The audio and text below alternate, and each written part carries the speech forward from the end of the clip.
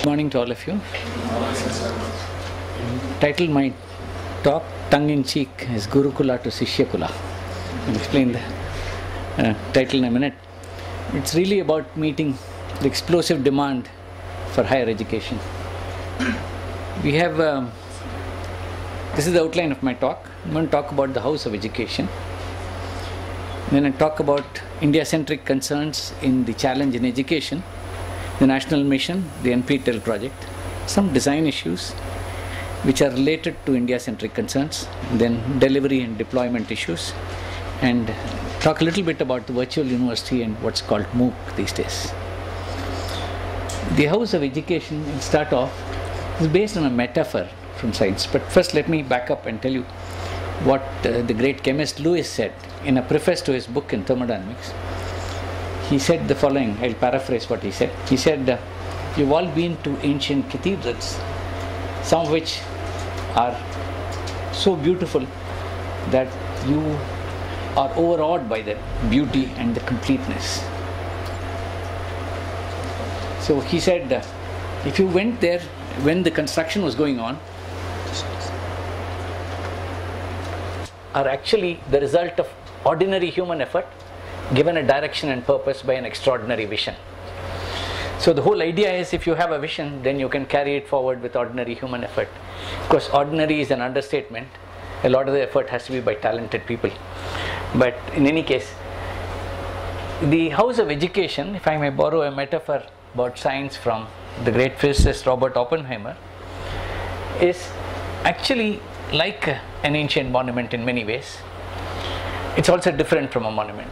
First, let me say that it is like the ancient monument, it's vast, the monuments that you appreciate, it's vast and it's perfect in places where it's been completed. If uh, the, the house of education is also different because it has all, it has no pre-designed plan. Now it's built with a randomness that suggests unending growth and improvisation. It's just remarkably beautiful. At the same time, it's very confusing to the novice. The what happens when you enter the house of education is that you have a guide in the teacher. They take you through rooms which are all completed, beautifully done, aesthetically beautiful, and the teacher explains the design and the construction of these rooms. And if you've seen about 12 rooms and you understand their design, then you graduate and go on to college. Of course, I'm saying it somewhat cynically because you have all kinds of examinations and hurdles in between. But nevertheless, after that, you go on to undergraduate education. You still have partly finished rooms and you still need a guide. You're taken through these rooms, and you, again, people explain things to you, some doubts, some places, and then you go on to graduate school or research. Some of you will go on. And then you will come back and build the scaffolding in some places. You may actually be so creative that you design a whole new wing in the house of education and so on. Let me confess something here.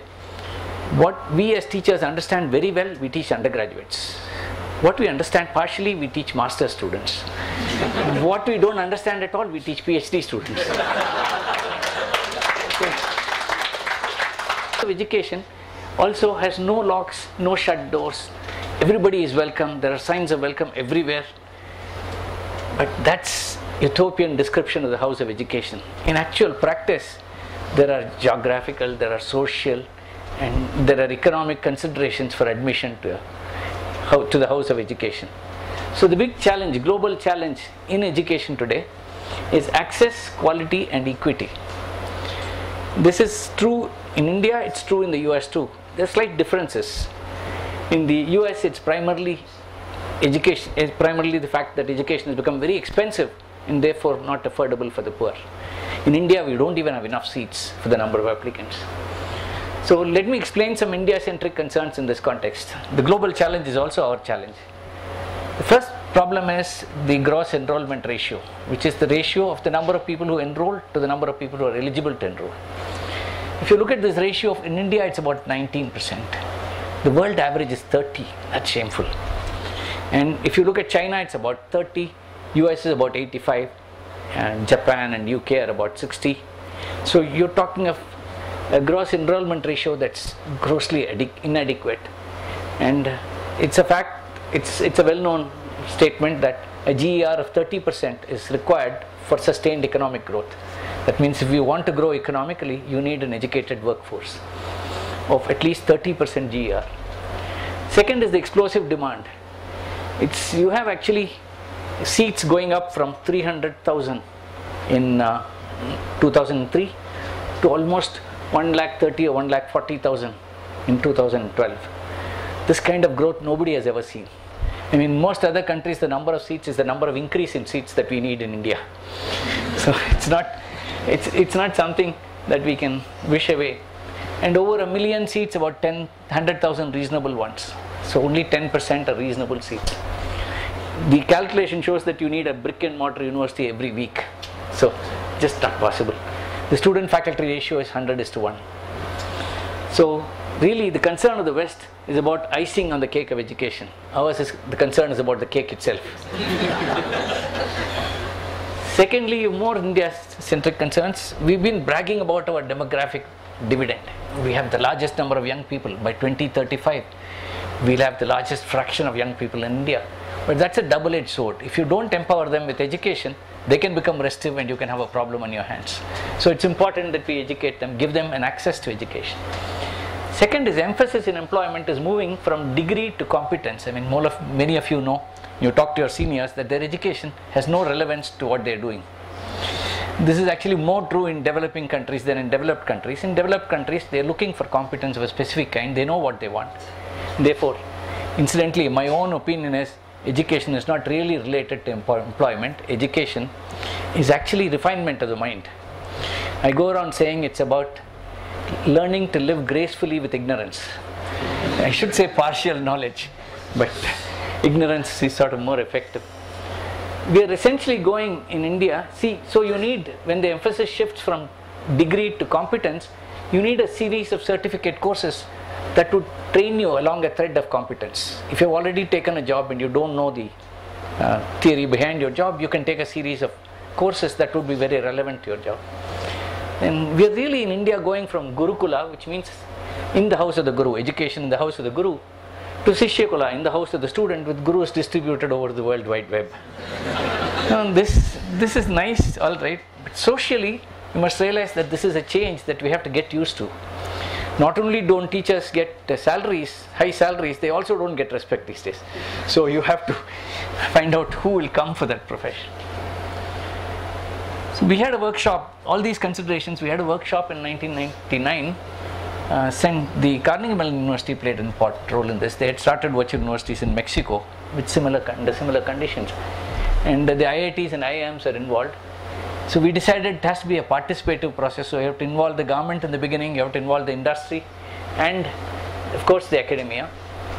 And uh, we made the following observations. First, technology required for massive online education is already available and will only improve. We've already seen that you need one brick and mortar university every week, and that's not possible. So per unit cost, communications and bandwidth and com communications bandwidth and computing power are already high and will continue to increase. Technology enhanced learning can be experiential. The word experiential comes from Montessori's. I don't know if you've read The Absorbent Mind, I would recommend you read it. Maria Montessori was one of the greatest educational researchers. And she's essentially she said children learn to play and learn from it faster than if you lecture to them. And she said she suspected that was true of undergraduate students too. but anyway then non-linear it's also non-linear goal oriented like montessori 100 years ago. And it has the potential to deliver exciting improvements in quality. So the we proposed made a proposal for a national program on technology enhanced learning. We felt that was a social component in IITs that was missing. We needed to do this the country. So all of us got together. It was funded in two phases in 2003 and 2008 the important things were it has to be curriculum based open courseware. MIT started at the same time. They had this courseware called open courseware. Many of you may have seen it, but it's not done. It's done beautifully. The individual videos are beautiful. The courses are good. The lectures are good, but they are not done to a disciplined syllabus. What we said was that we'll put together a curriculum based courseware for engineering and science I mean, the general statement is IIT profs will come and lecture and go, and then you will fail in the exam. So, so students said, I say it very cynically. So the IIT profs decided that we'll put together a curriculum and do the syllabus according to the university syllabus, so that if you read, you won't actually fail in the examination. So there are two phases. 325 subject matter experts were involved in the first phase. In the second, about 2,000 my job was really to keep the peace between them. Because you see faculty don't have salaries they only have egos and you have to be careful with egos. And you must realize that many of these people are very committed and very passionate about how a course is to be taught. So when they fight it's not because they're petty just that they're very particular about how a course should be taught. So we took nine months fighting over how courses should be taught what courses should be taught by whom. But after that it was all peaceful. In two years the first phase was completed so our national mission, you must know that there is a mission called NMEICT. It's about the national mission on education using ICT. It's one of the visionary projects of the ministry. We always blame the ministry for various things, but they also do good things.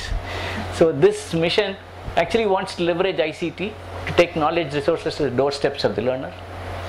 And then you develop open courses. NPTEL has now been absorbed into this mission. You create virtual classes, testing services, empower teachers, and provide connectivity and access devices. So let me talk a little bit about design issues of NPTEL. The target audience for NPTEL had to be students, it had to be faculty, it also had to be professionals because you need continuing education. One of my predecessors used to say, used to apologize to computer science graduates saying, sorry guys, what we taught you is obsolete already at the time of graduation. So I mean, the field progresses so fast that it's becoming difficult. So you need continuing education. So about 20 teams of about six subject matter experts each arrive at a national curriculum for every program. The syllabus is based on major universities and we put them together, we broke it up into modules so that about seven modules will satisfy any one university syllabus. But there are actually eight to ten modules in each and all the courses in have to be delivered. If you choose civil engineering you have to deliver all the courses that belong to that discipline. Similarly video is valuable for rural students. In fact when we started we wanted to do only web and it was the minister for HRD who said no no rural students like to see the face of a teacher so please put in video. And he also created a channel called the Ekalavya channel. And he said we'll put it up on that because he said Ekalavya was the first distance education student in mythology and for our part we promised not to ask for the thumb. Anyway we also conducted training workshops for thousands of faculty. We've been conducting them. Awareness workshop for students. We go talk to people in the various colleges. Created a social network site to facilitate online interactions. That's picking up in india. Then value addition you have to have wiki type of information animations and quizzes etc and case studies from the industry have not yet been added. All contents are posted on the web are, and they're all peer and user reviewed. This is NPTEL's. It's now the largest open courseware collection in higher technical education today. And, uh, so delivery in many forms. You can look it up in the website also. The okay, uh, the we have uh, multiple formats FLV, MP4 and 3GP for mobile. And you'd be surprised the number of emails I've received from students saying, I travel one hour by train every day to college and because of your mobile downloads I can now read the lectures on the mobile. That's very heartening although once he comes to class he doesn't want to listen. so all lectures are uploaded for free video on demand access then hard disks, we give institutions a hard disk of 120, 140 courses. All of it is given at just at the cost of the hard disk. And streaming media access through the website, web contents as PDF downloads and so on. We've also sold individual DVD ROMs. The deployment issues, website accessible to students, e-contents through hard disks as I said. Video lectures broadcast through Ekalavya channel, but that's again fixed timings. Video lectures on YouTube. YouTube came up and said we'll do this for you. And there was some objection. They said YouTube has bad material. We said it anyway has bad material, so let's add some. and uh, these are more website, more thing. You can see the number of viewers is 7.6 million. A sizable fraction from the US. And we get email from the US saying, what my prof failed to explain in 15 lectures, you were able to explain in three. Thank you very much, and so on. So, there are very good teachers in India also. Here you have the virtual, we are thinking of the virtual university. The whole idea of the NPTEL program was to start a virtual university after we had 600 courses ready. So, you need a menu if you want to start a virtual university. So we are now getting close to it. We'll have 700 courses by June and hopefully 1000 courses by December. The virtual university will start. We have also run pilot run of two open online courses. Not so massive, not like Coursera or EDX which have 100,000 students, but there they have the technology perfected. In India, we are a peculiar country. We have everything, but we don't have anything on a given time and a given day. so, you think you have all the connectivity and so on, then your power will go, your generator will fail. so I think you can't risk 100,000 yet, but we will get there. Uh, for one thing, I mean, we do all the good things that the West does. We've also promised to do everything wrong that the West does within 10 years. So we'll do some of the wrong things as well.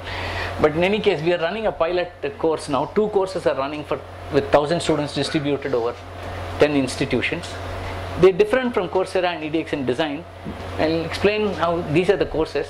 This is also on the website. First thing is uh, these courses are live. These lectures are given and you listen to them in various colleges. The subject matter experts give the lectures, the quizzes and the solutions. The faculty mem- mentors from partner institutions take care of operational details. They create discussion fora for students. That's not picking up yet. In the social media, the discussion fora seem to have picked up. But when it comes to the subject, students are still reluctant to discuss it. They don't realize that their ignorance is actually shared already with others, so they are afraid to expose it individually. But I think it's, it's a matter of time. You have to reply to questions and queries whenever possible. Evaluation is based on attendance, grades, assignments, tests, exams, participation, and so on.